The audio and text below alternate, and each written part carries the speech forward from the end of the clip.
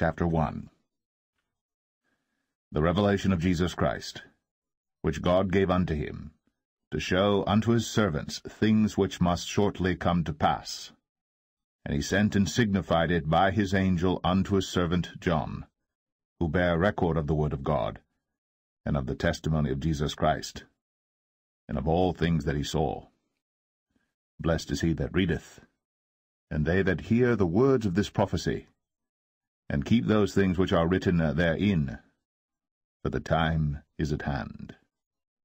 John, to the seven churches which are in Asia, grace be unto you, and peace from him which is, and which was, and which is to come, and from the seven spirits which are before his throne, and from Jesus Christ, who is the faithful witness, and the first begotten of the dead, and the prince of the kings of the earth, unto him that loved us, and washed us from our sins in his own blood, and hath made us kings and priests unto God and his Father. To him be glory and dominion for ever and ever. Amen. Behold, he cometh with clouds, and every eye shall see him, and they also which pierced him and all kindreds of the earth shall wail because of him. Even so. Amen. I am Alpha and Omega, the beginning and the ending, saith the Lord, which is, and which was, and which is to come, the Almighty. I, John, who also am your brother and companion in tribulation, and in the kingdom and patience of Jesus Christ, was in the isle that is called Patmos, for the word of God and for the testimony of Jesus Christ.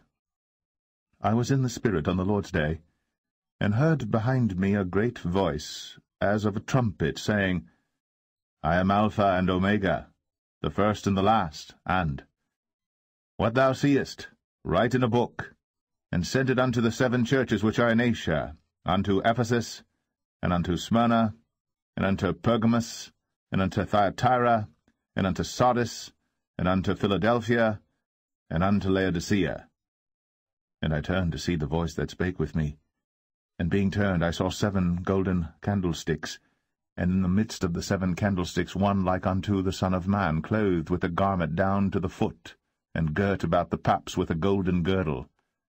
His head and his hairs were white like wool, as white as snow, and his eyes were as a flame of fire, and his feet like unto fine brass, as if they burned in a furnace, and his voice as the sound of many waters. And he had in his right hand seven stars, and out of his mouth went a sharp two-edged sword, and his countenance was as the sun shineth in his strength. And when I saw him, I fell at his feet as dead.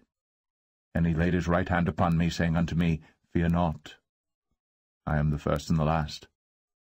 I am he that liveth, and was dead, and behold, I am alive for evermore. Amen.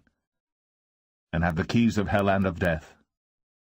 Write the things which thou hast seen, and the things which are, and the things which shall be hereafter. The mystery of the seven stars which thou sawest in my right hand, and the seven golden candlesticks. The seven stars are the angels of the seven churches, and the seven candlesticks which thou sawest are the seven churches.